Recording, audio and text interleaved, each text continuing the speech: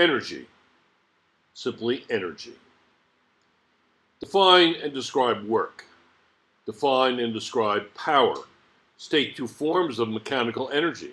State three forms of potential energy. Describe how work and kinetic energy are related. State the work energy theorem. State the law of conservation of energy. Describe how a machine uses energy. Explain why no machine can be 100% efficient. Describe the role of energy in living organisms. The big idea energy can change from one form to another without net loss or gain. Energy is the most central concept underlying all of science. Surprisingly, the idea of energy was unknown to Isaac Newton, and its existence was still being debated in the 1850s. Even though the concept of energy is relatively new, today we find it ingrained not only in all branches of science, but in nearly every aspect of human society. We are all quite familiar with energy. Energy comes to us from the sun in the form of sunlight. It is in the food we eat and it sustains life. Energy may be the most familiar concept in science, yet it is one of the most difficult to define.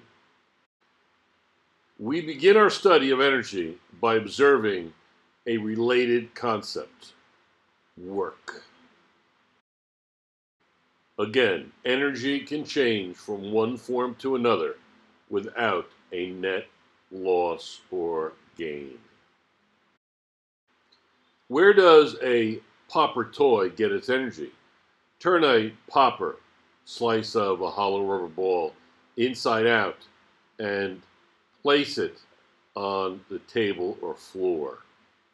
Observe what happens to the popper toy. Once again, compress the popper and drop it onto the table. Observe what happens to the popper. What propelled the popper into the air? It's observing, predicting.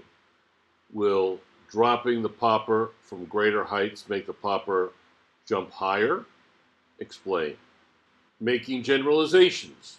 Describe where the popper got the energy to move upward and downward through the air. 9.1 Work. The previous chapter showed that the change in an object's motion is related to both force and how long the force acts. How long meant time. Remember the quantity force times time is called impulse. But how long need not always mean time. It can mean distance also. When we consider the quantity force times distance, we are talking about the concept of work. Work is the product of the net force on an object and the distance through which the object is moved. We do work when we lift a load against Earth's gravity. The heavier the load or the higher we lift it, the more work we do. Think. Suppose that you apply a 60 Newton horizontal force to a 32 kilogram package, which pushes it 4 meters across the mailroom floor. How much work do you do on the package? Work equals force times distance which equals 60 newtons times 4 meters, which equals 240 joules. Work is done when a force acts on an object and that object moves in the direction of the force. Remember, work is force times distance. Let's look at the simplest case in which the force is constant and the motion takes place in a straight line in the direction of the force. Then, the work done on an object by an applied force is the product of the force and the distance through which the object is moved. Work equals net force times distance. In equation form, it's W equals FD, or work equals force times distance. If we lift two loads up one story, we do twice as much work as we would in lifting one load the same distance. because the force needed to lift twice the weight is twice as great. Similarly, if we lift one load two stories instead of one story, we do twice as much work because the distance is twice as great. Notice that the definition of work involves both a force and a distance. The weight lifter in 9.1 is holding a barbell weighing 1,000 newtons over his head. He may get really tired holding it, but if the barbell is not moved by the force he exerts, he does no work on the barbell. Figure 9.1 Work is done in lifting the barbell, but not in holding it steady. If the barbell could be lifted twice as high, the weightlifter would have to do twice as much work. Work may be done on the muscles by stretching and squeezing them, which is force times distance on a biological scale. But this work is not done on the barbell. Lifting the barbell, however, is a different story. When the weightlifter raises the barbell from the floor, he is doing work on it. Work generally falls into two categories. One of these is the work done against another force. When an archer stretches her bowstring, she is doing work against the elastic forces of the bow. Similarly, when when ram when the ram of a pile driver is raised, work is required to raise the ram against the force of gravity. When you do push ups, you do work against your own weight. You do work on something when you force it to move against the influence of an opposing force, often friction. The other category of work is work done to change the speed of an object. This kind of work is done in bringing an automobile up to speed or in slowing it down. In both cases, work involves a transfer of energy between something and its surroundings.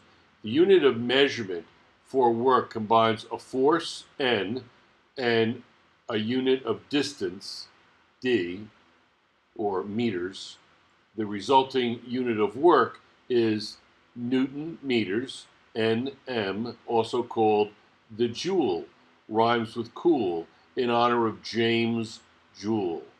The physics of a weightlifter holding a stationary barbell overhead is no different than a physics than the physics on a table supporting a barbell weight.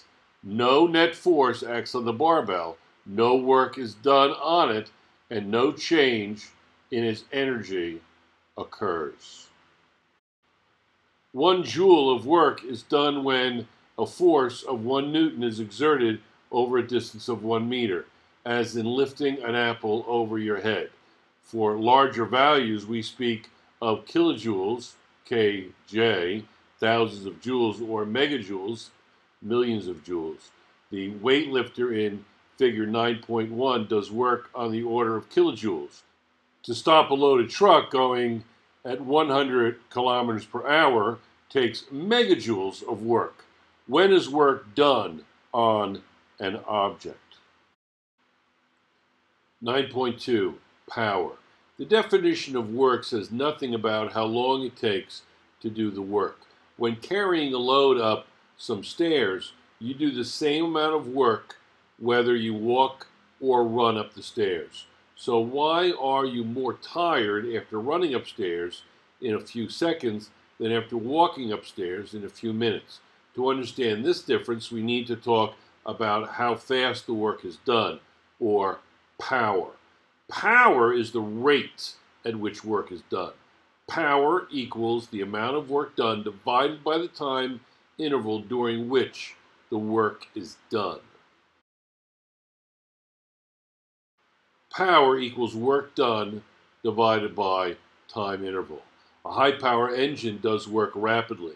An automobile engine that delivers twice the power of another automobile engine does not necessarily produce twice as much work or go twice as fast as the less powerful engine. Twice the power means the engine can do twice the work in the same amount of time or the same amount of work in half the time. A powerful engine can get an automobile up to a given speed in less time than a less powerful engine can. The unit of power is the joule per second, also known as the watt, W A T T, in honor of James Watt, the 18th century developer of the steam engine. One watt of power is expended when one joule of work is done in one second. One kilowatt equals 1,000 watts. One megawatt equals 1 million watts. The space shuttle in 9.2 uses 33,000 megawatts of power. In the United States, we customarily rate engines in units of horsepower and electricity in kilowatts, but either may be used. In the metric system of units, automobiles are rated in kilowatts. One horsepower is the same as 0.75 kilowatts. So, an engine rated at 135 horsepower is a 100 kilowatt engine. Concept check. How can you calculate power? Figure 9.2 The three main engines of the Space Shuttle can develop 33 million megawatts of power when fuel is burned at the enormous rate of 3,400 kilograms per second. This is like emptying an average sized swimming pool in 20 seconds. Think if a forklift is replaced with a new forklift that has twice the power, how much greater a load can it lift in the same amount of time? If it lifts the same load, how much faster can it operate?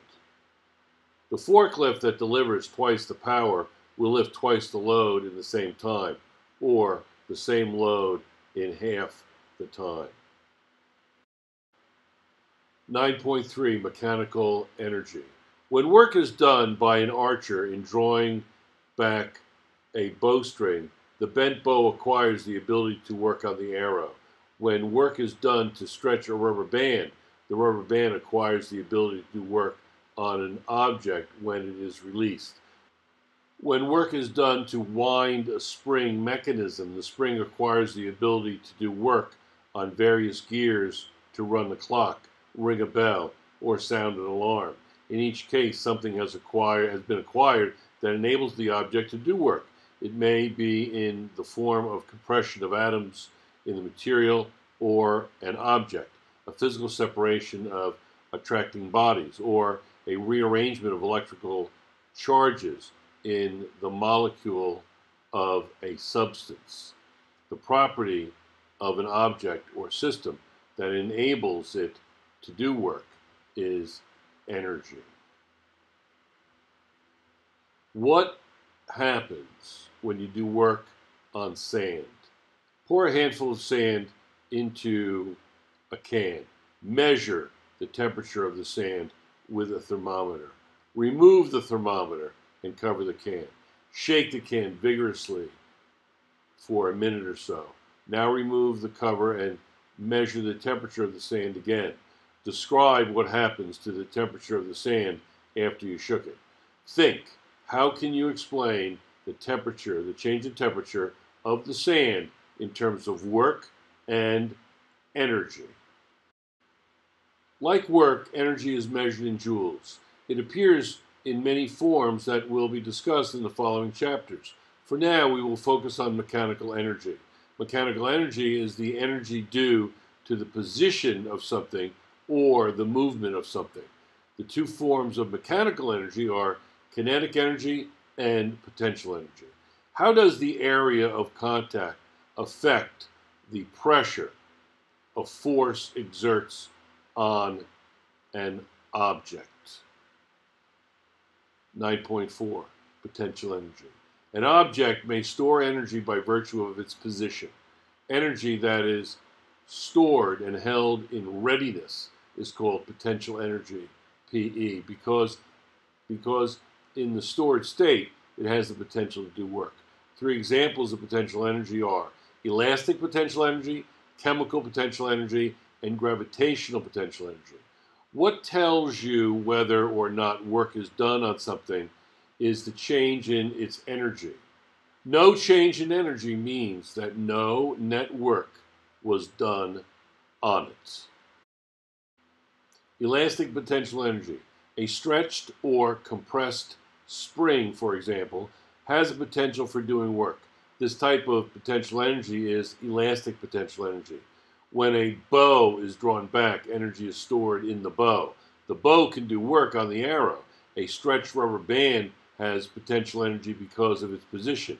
If the rubber band is part of a slingshot, it is also capable of doing work. Chemical energy. The chemical energy in fuels is also potential energy. It is actually energy of position at the microscopic level. This energy is available when the positions of electrical charges within and between molecules are altered. That is, when a chemical change takes place. Any substance, substance that can do work through chemical reactions possesses chemical energy.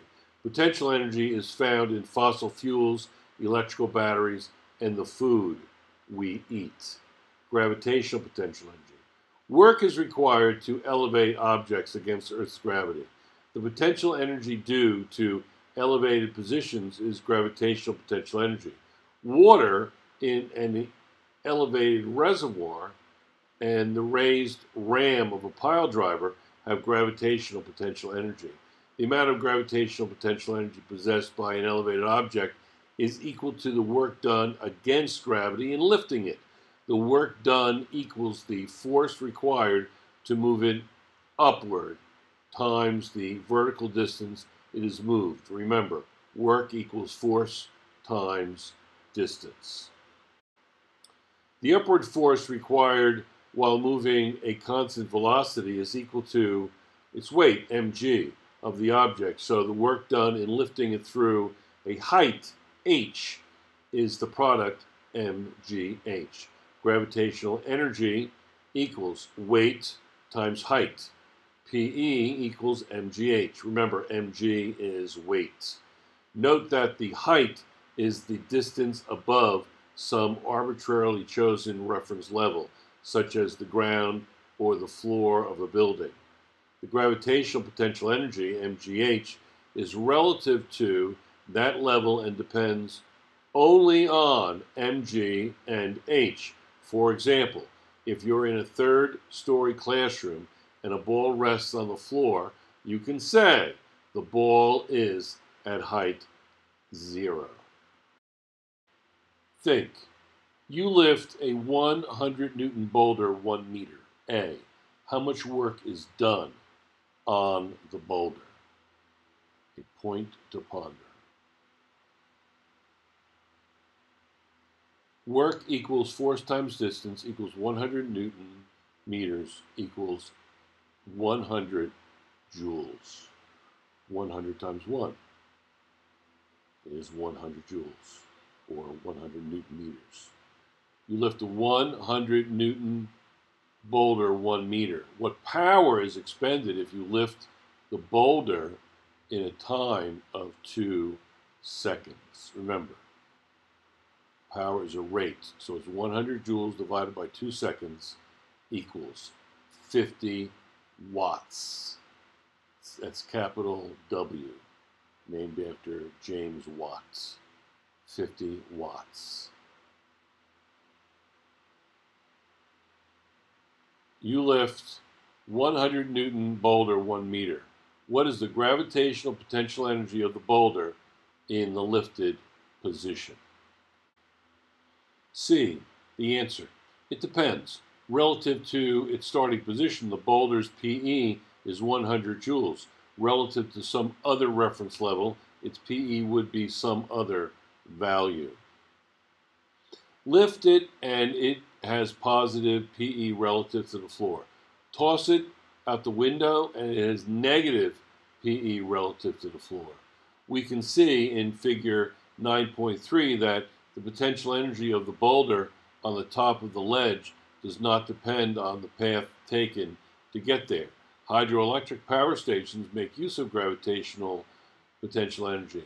When a need for power exists, water from an upper reservoir flows through a long tunnel in an electric generator. Gravitational potential energy of the water is converted to electrical energy.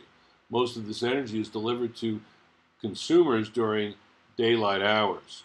A few power stations buy electricity at night when there is much less demand.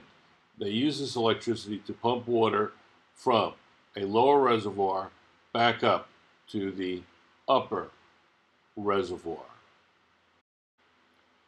Figure 9.3, the potential energy of the 100 Newton boulder with respect to the ground below is 200 joules.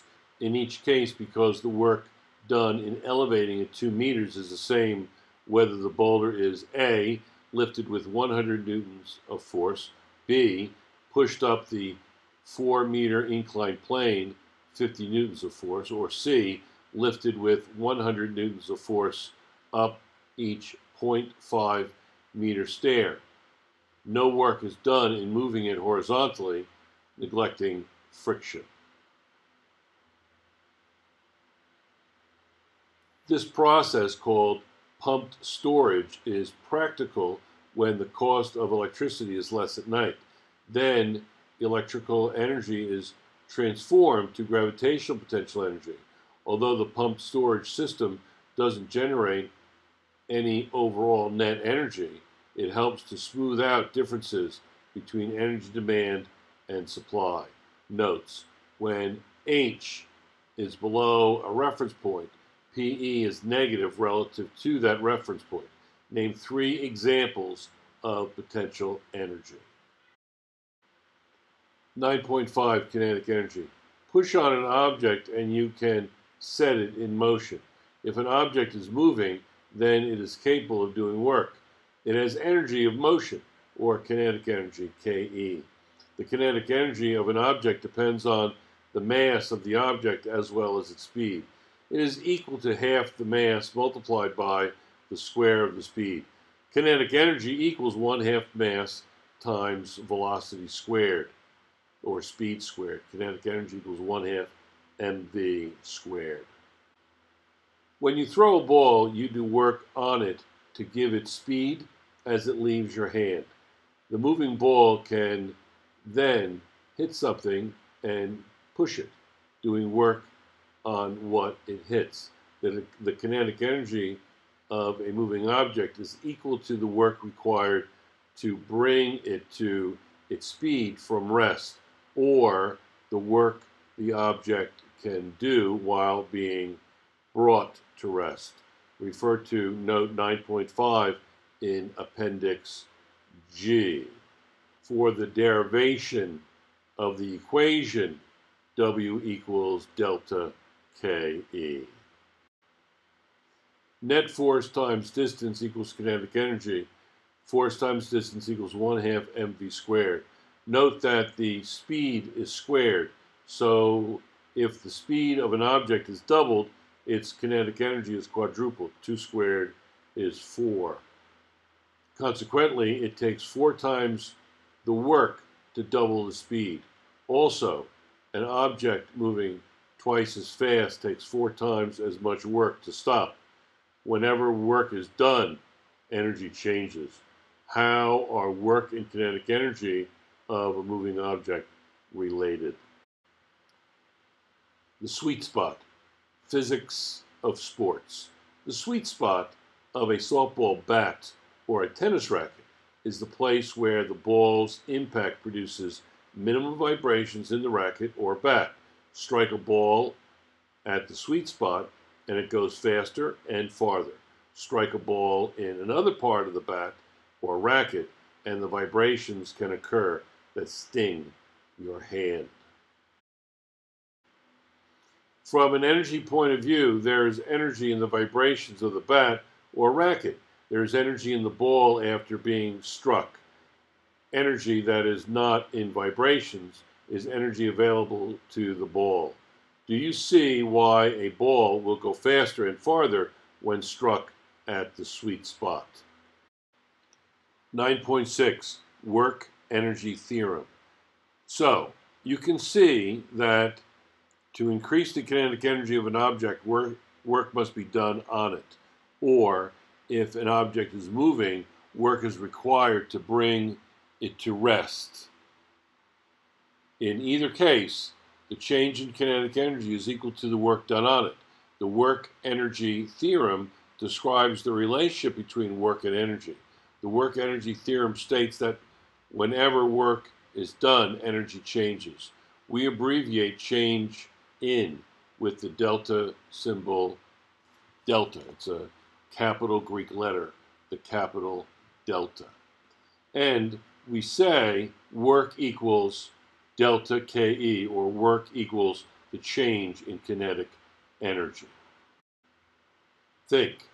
A friend says that if you do 100 joules of work on a moving cart, the cart will gain 100 joules of kinetic energy. Another friend says, well, this depends on whether or not there is friction. What is your opinion on these statements? Careful. Although you do 100 joules of work on the cart, this may not mean the cart gains 100 joules of kinetic energy. How much kinetic energy the cart gains depends on the net work done on it. Work equals change in kinetic energy. The work in this equation is the net work. That is, the work based on the net force.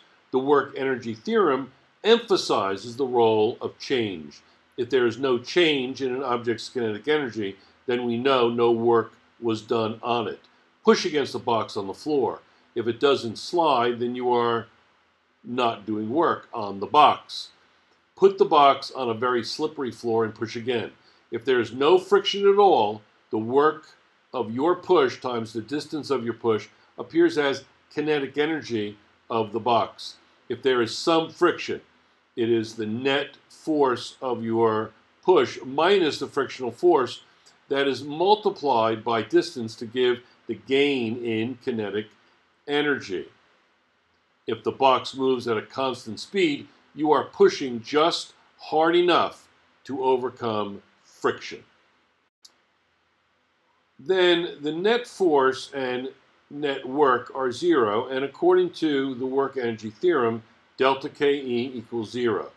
The kinetic energy doesn't change. The work energy theorem applies to decreasing speed as well. The more kinetic energy something has, the more work is required to stop it. Twice as much kinetic energy means twice as much work. When we apply the brakes to slow a car, or the bike in figure 9.4, we do work on it. This work is the frictional force applied by the brakes multiplied by the distance over which the friction force acts.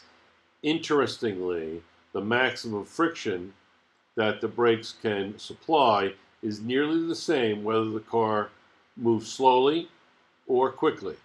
In a panic stop with anti-lock brakes, the only way for the brakes to do more work is to act over a longer distance. Figure 9.4. Due to friction, energy is transferred both into the floor and into the tire when the bicycle skids to a stop. A. An infrared camera reveals the, the heated tire track on the floor. And B the warmth of the tire is also revealed. A car moving at twice the speed of another has four times as much kinetic energy and will require four times as much work to stop. Since the frictional force is nearly the same for both cars, the faster one takes four times as much distance to stop. The same rule applies to older, older model brakes that can lock the wheels. The force of friction on a skidding tire is also nearly independent of speed. Automobile brakes convert KE to heat.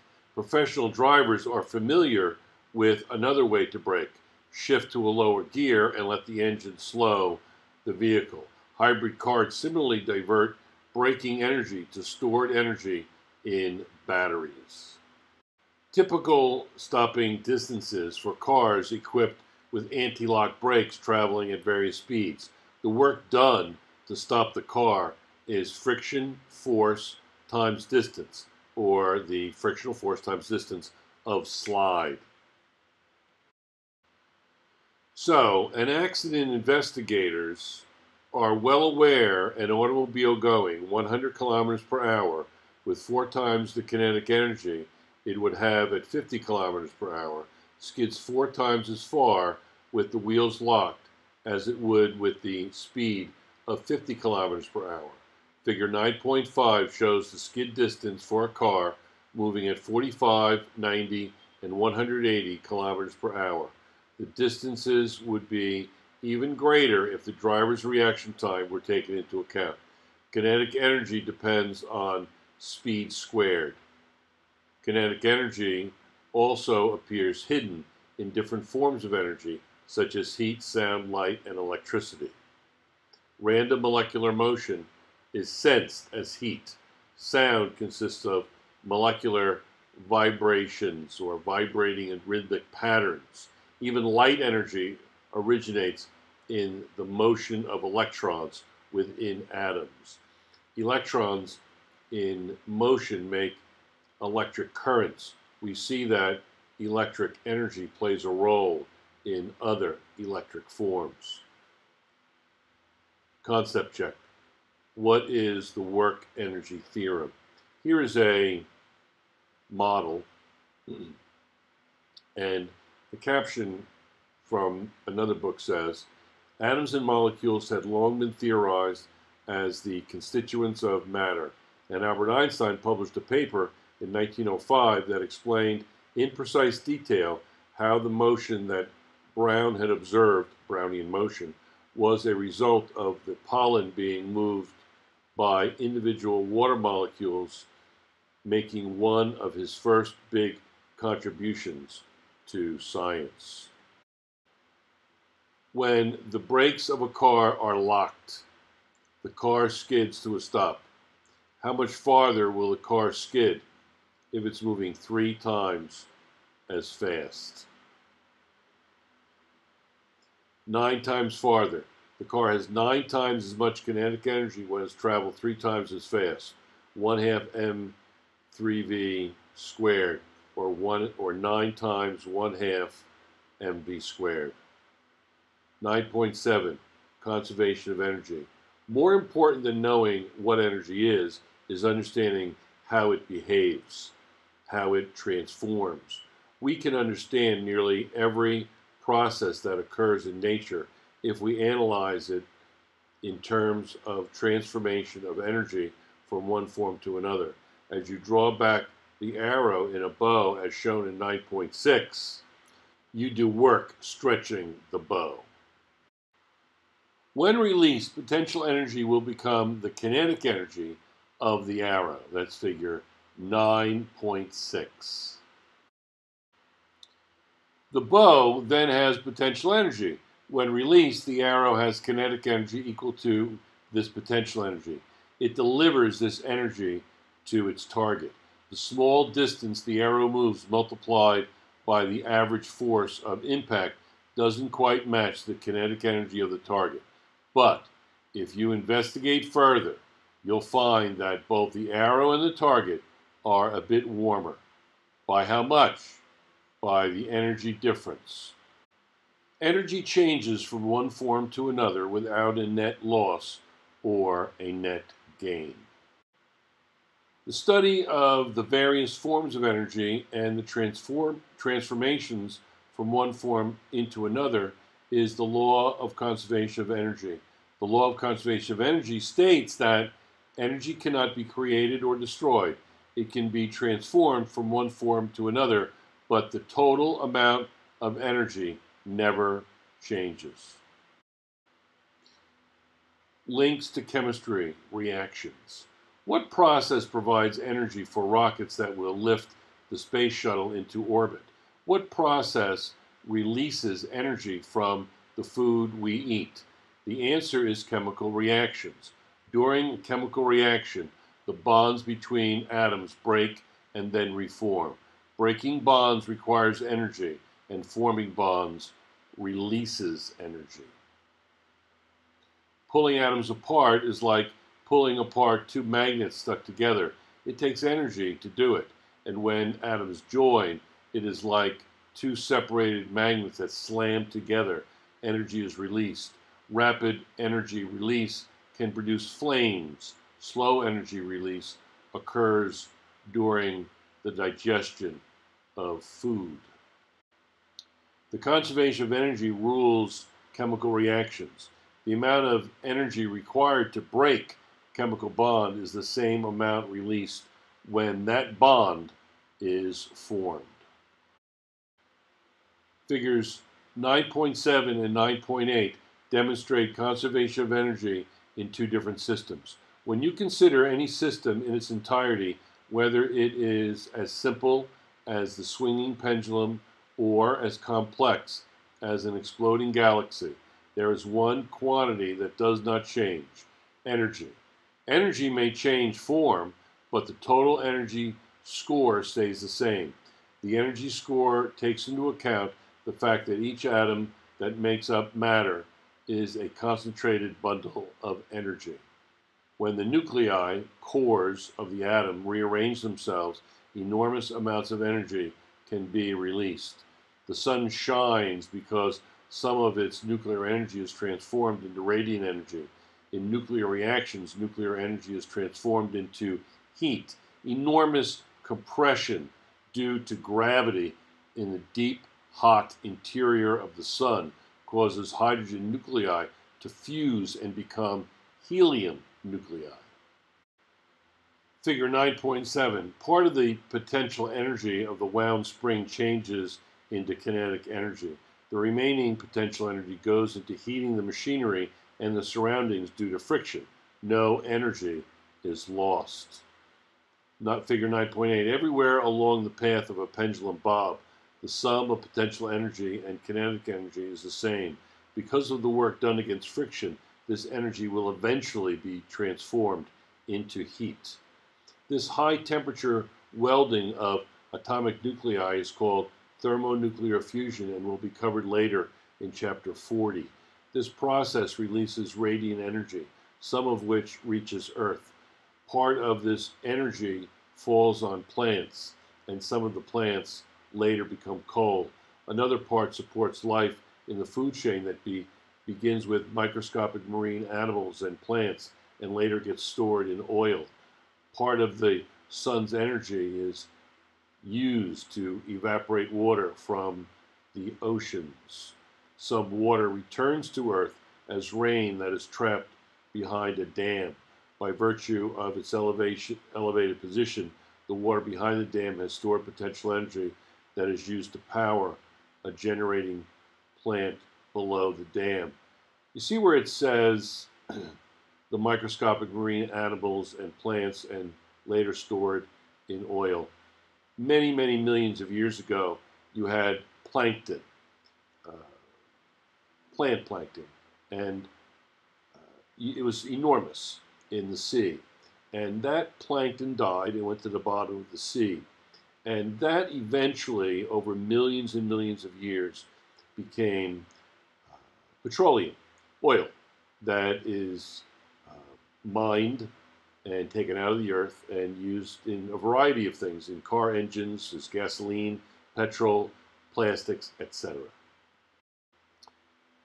Figure 9.9 When the woman in distress leaps from the burning building, note that the sum of her potential and kinetic energy remains constant at each successive position all the way down to the ground.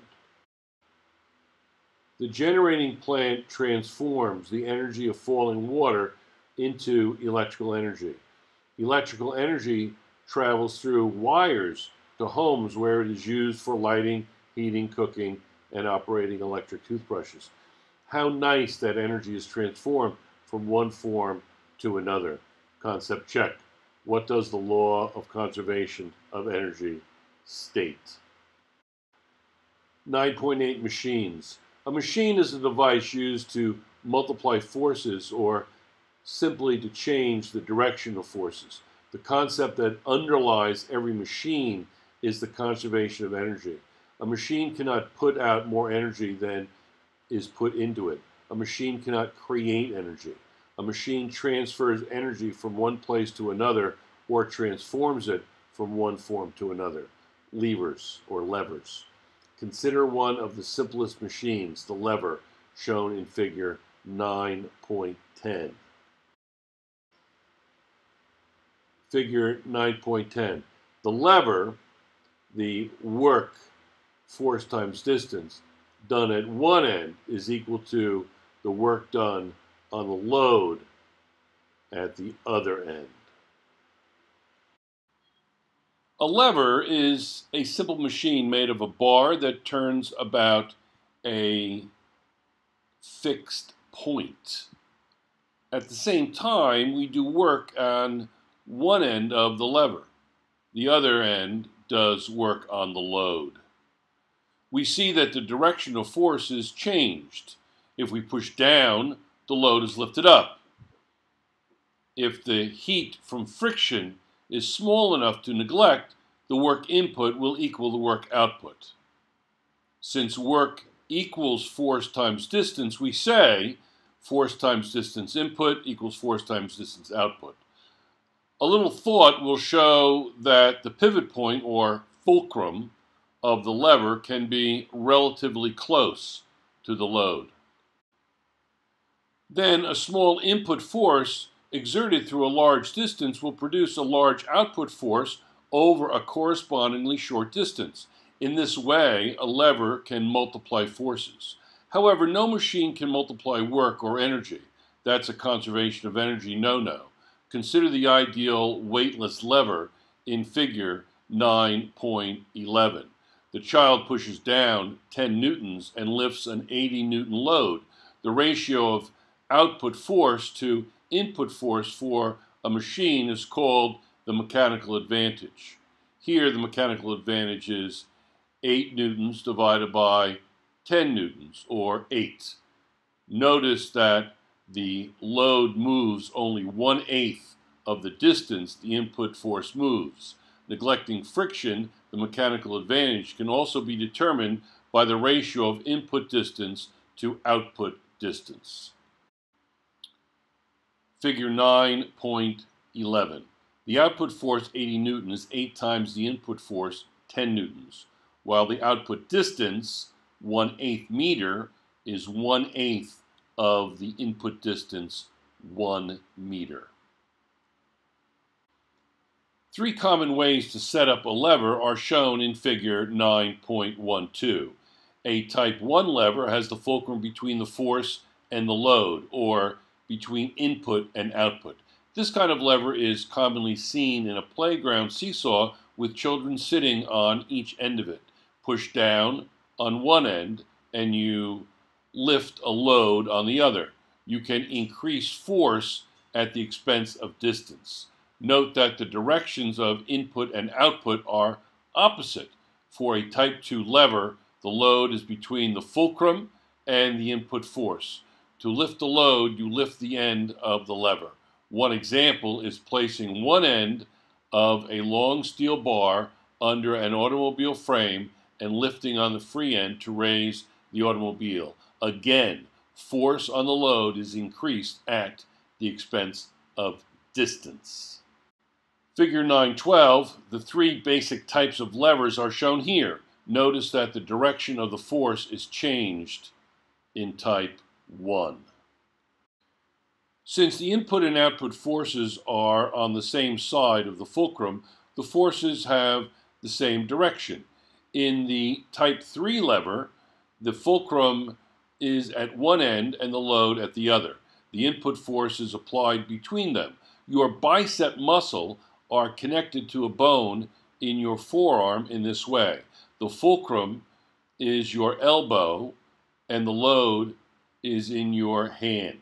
The type 3 lever increases distance at the expense of force.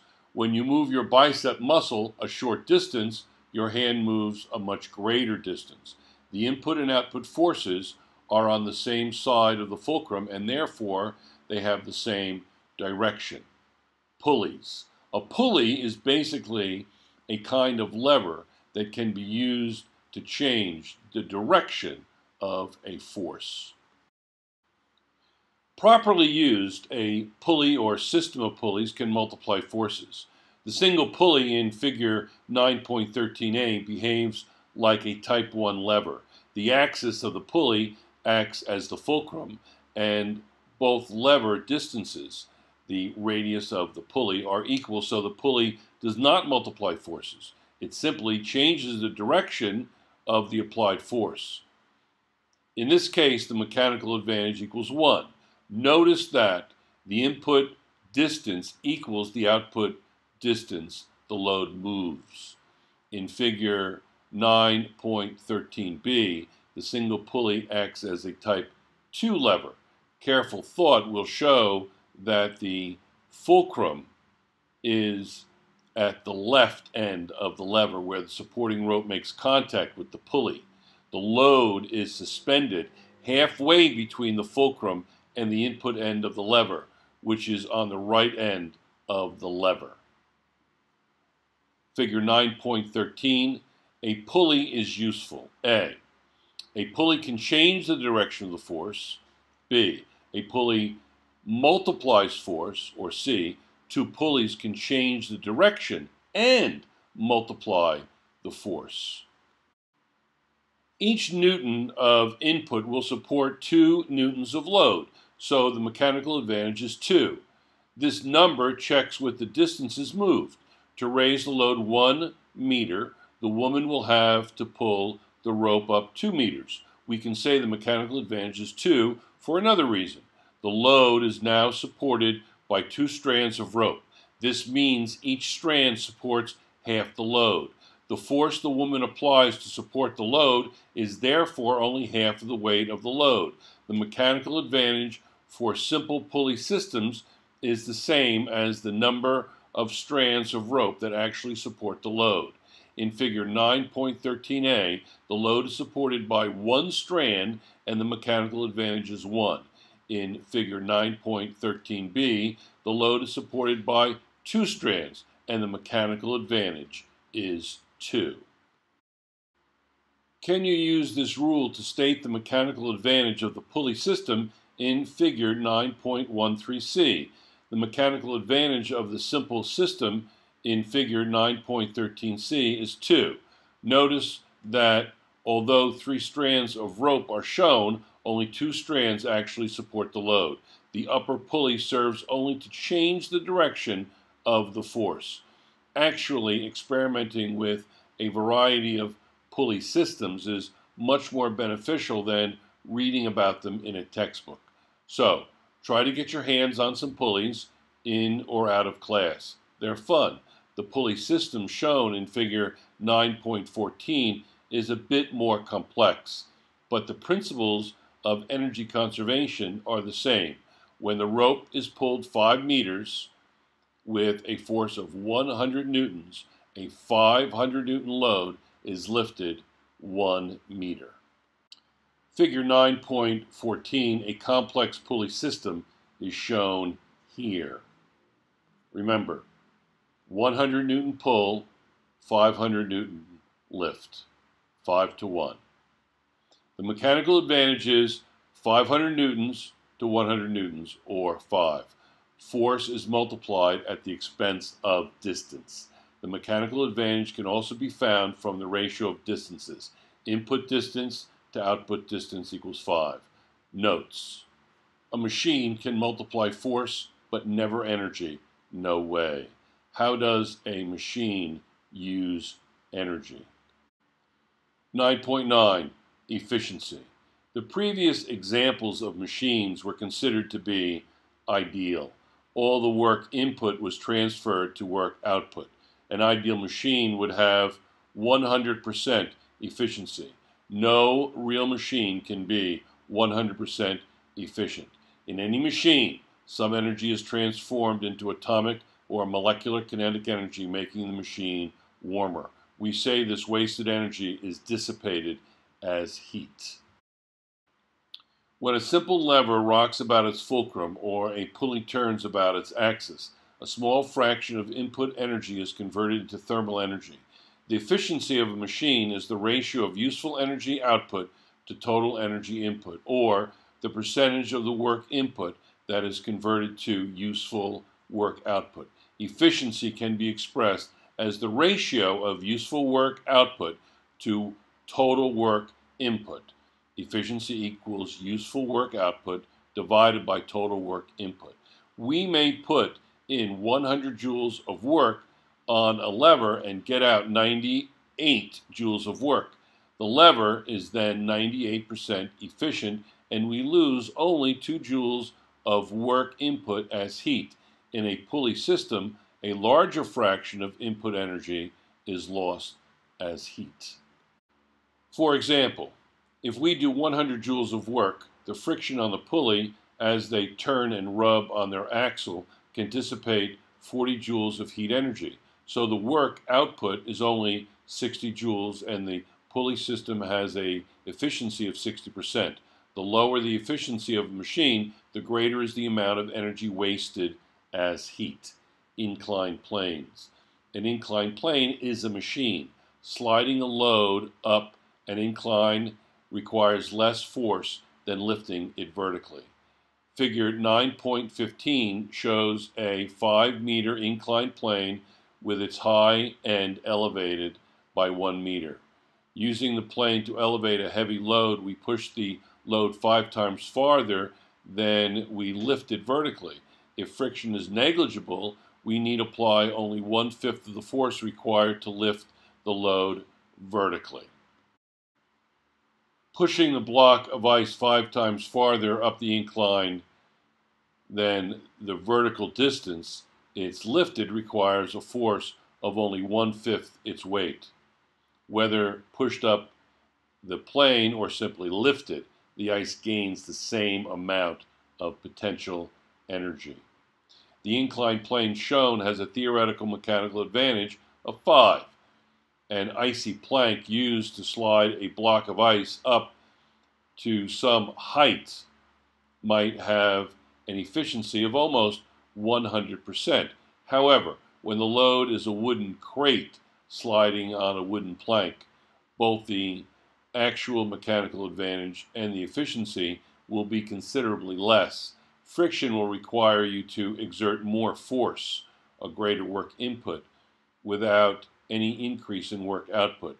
Efficiency can also be expressed as the ratio of the actual mechanical advantage to theoretical mechanical advantage, which is the equation efficiency equals actual mechanical advantage divided by theoretical mechanical advantage. Efficiency will always be a fraction less than 1. To convert efficiency to percent, we simply express it as a decimal and multiply by 100%. For example, an efficiency of 0.25 expressed in percent is 0.25 times 100% or 25%. Complex machines. The auto jack shown in figure 9.16 is actually an inclined plane wrapped around a cylinder. You can see that a single turn of the handle raises the load a relatively small distance. If the circular distance the handle is moved is 500 times greater than the pitch, which is the distance between ridges, then the theoretical mechanical advantage of the jack is 500. No wonder a child can raise a loaded moving van with one of these devices. The auto jack is like an inclined plane wrapped around a cylinder. Every time the handle is turned one revolution, the load is raised a distance of one pitch. In practice, there is a great deal of friction in this type of jack, so the efficiency might be about 20%. Thus, the jack actually multiplies force by about 100 times, so the actual mechanical advantage approximates an impressive 100. Imagine the value of one of these devices if it had been available when the Great Pyramids were being built. An automobile engine is a machine that transfers chemical energy stored in fuel into mechanical energy. The molecules of the gasoline break up as the fuel burns. Burning is a chemical reaction in which atoms combine with the oxygen in the air, carbon atoms from the gasoline combine with oxygen atoms to form carbon dioxide. Hydrogen atoms combine with oxygen and energy is released. The converted energy is used to run the engine. Think a child on a sled, total weight 500 newtons, is pulled up a 10 meter slope that elevates her a distance of 1 meter. What is the theoretical mechanical advantage of the slope? Think answer. The ideal or theoretical mechanical advantage is input distance divided by output distance, which equals 10 meters over 1 meter, which equals 10. As physicists learned in the 19th century, transforming 100% of thermal energy into mechanical energy is not possible. Some heat must flow from the engine. Friction adds more to the energy loss. Even the best designed gasoline powered automobile engines are likely to be more than 35% efficient. Some of the heat energy goes into the cooling system and is released through the radiator to the air. Some of it goes out the tailpipe with the exhaust gases, and almost half goes into heating engine parts as a result of the friction. On top of these contributions to inefficiency, the fuel does not burn completely. Notes, when it comes to energy, you can never get something for nothing. A certain amount of it goes unused. We can look at inefficiency in this way in any transformation, there is a dilution of the amount of useful energy. Useful energy ultimately becomes thermal energy. Energy is not destroyed, it is simply degraded. Though heat transfer, thermal energy is the graveyard of useful energy. Energy is nature's way of keeping score. Why can't a machine be 100% efficient? 9.10 Energy for Life. Every living cell in every organism is a machine. Like any machine, living cells need an energy supply. Most living organisms on this planet feed on various hydrocarbon compounds that release energy when they react with oxygen. There is more energy stored in gasoline than in the products of its combustion. There is more energy stored in the molecules food is metabolized. The energy difference sustains life. The same principle of combustion occurs in the meta- metabolism of food in the body and the burning of fossil fuels in mechanical engines. The main difference is the rate at which the reactions take place. During metabolism, the reaction rate is much slower and energy is released as it is needed by the body. Like the burning of fossil fuels, the reaction is self sustaining once it starts. In metabolism, carbon combines with oxygen to form carbon dioxide. The reverse process is more difficult. Notes In biology, you'll learn how the body takes energy from the food you eat to build molecules of adenosine triphosphate or ATP and how the supply of ATP is used to run all the chemical reactions that sustain life. Only green plants and certain one-celled organisms can make carbon dioxide combine with water to produce hydrocarbons, compounds such as sugar. This process is photosynthesis and requires an energy input which normally comes from sunlight. Sugar is the simplest food. All other foods, such as carbohydrates, proteins, and fats are also synthesized compounds containing carbon, hydrogen, oxygen, and other elements. Because green plants are able to use the energy of sunlight to make food that gives us and all other organisms energy, there is life. What role does energy play in sustaining life? 9.11 Sources of Energy. The sun is the source of practically all our energy on Earth. Exceptions are nuclear and geothermal. The sun is the source of practically all our energy on Earth, worth repeating. The energy from burning wood comes from the sun. Even the energy we obtain from Earth Earth's compost of the past.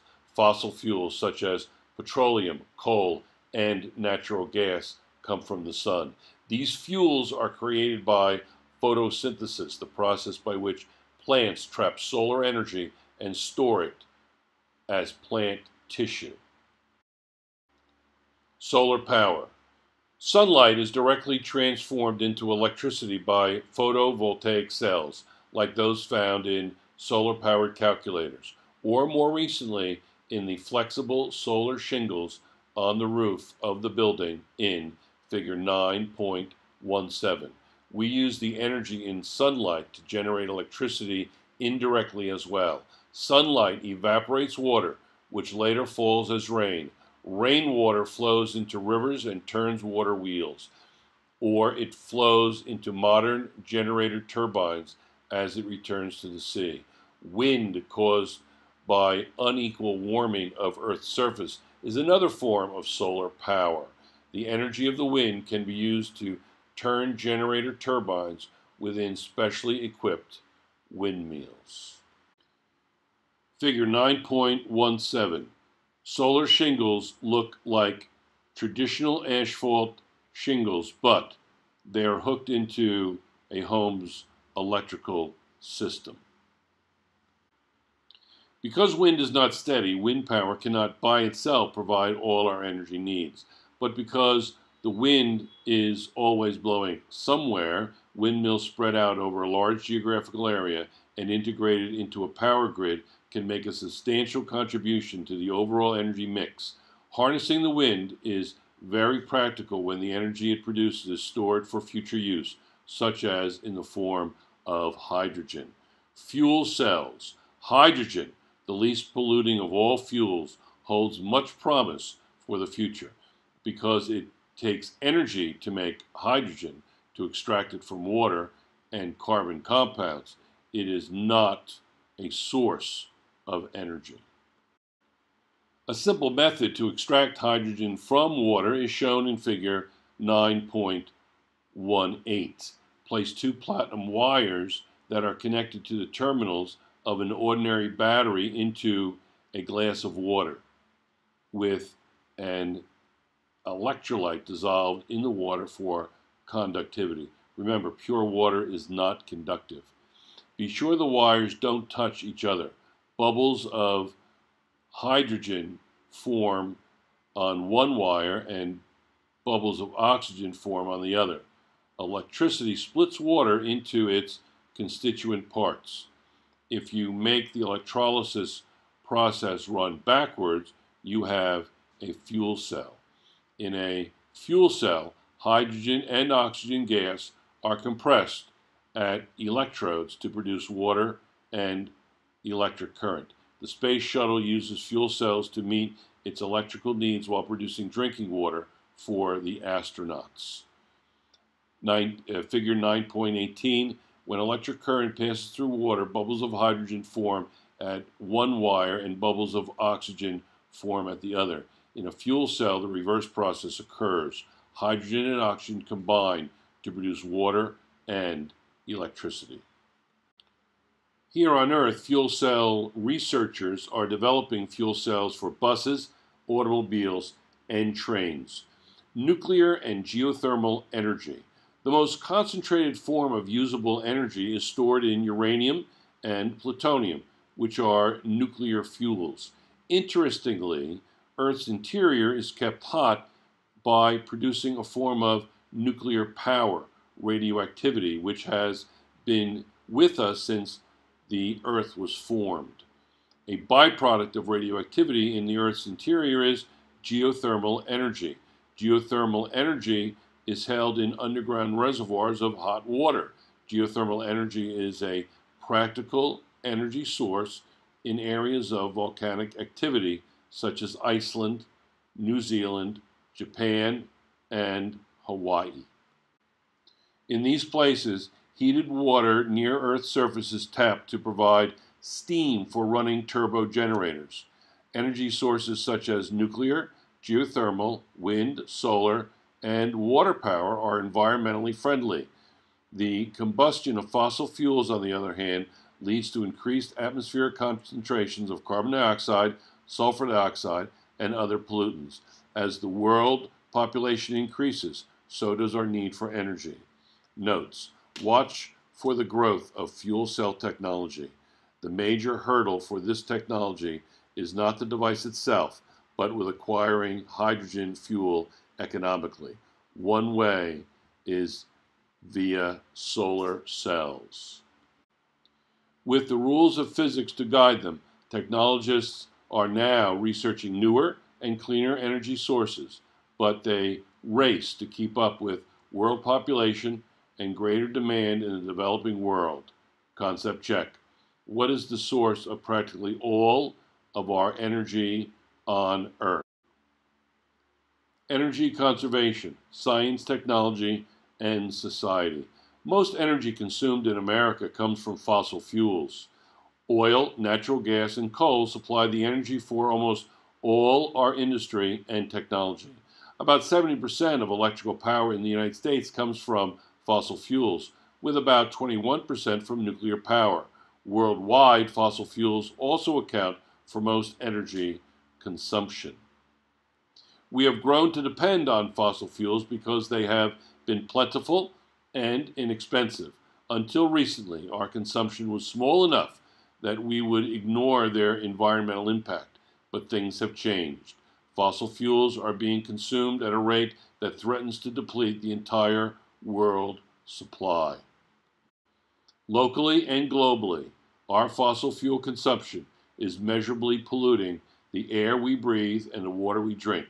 Yet, despite these problems, many people consider fossil fuels to be as inexhaustible as the sun's glow and as acceptable as mom's apple pie because these fuels lasted and nurtured us through the 1900s.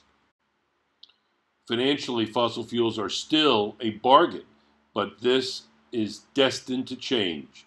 Environmentally, the costs are already dramatic. Some other fuels must take the place of fossil fuels if we are to maintain the industry and technology to which we are accustomed. The French have chosen nuclear, with about 74% of their electricity coming from nuclear power plants. What energy source would you choose as an alternative? In the meantime, we shouldn't waste energy. As individuals, we should limit the consumption of useful energy by such measures as turning off unused electrical appliances, using less hot water, going easy on heating and air conditioning, and driving energy efficient automobiles. By doing these things, we are conserving useful energy. Critical thinking. In how many reasonable ways can we reduce energy consumption? Summary Energy. Work is done when a force acts on an object and the object moves in the direction of the force. Power equals work divided by time. The two forms of mechanical energy are kinetic energy and potential energy. Three examples of potential energy are elastic potential energy, chemical energy, and gravitational potential energy. The kinetic energy of a moving object is equal to the work done on it. The work energy theorem states that whenever work is done, energy changes. Energy cannot be created or destroyed. A machine transfers energy from one place to another or transforms it from one form to another. In a machine, some energy is transformed into atomic kinetic energy. There is more energy stored in the molecules in food than there is in the reaction products after the food is metabolized. The energy difference sustains life. The sun supplies most of Earth's energy.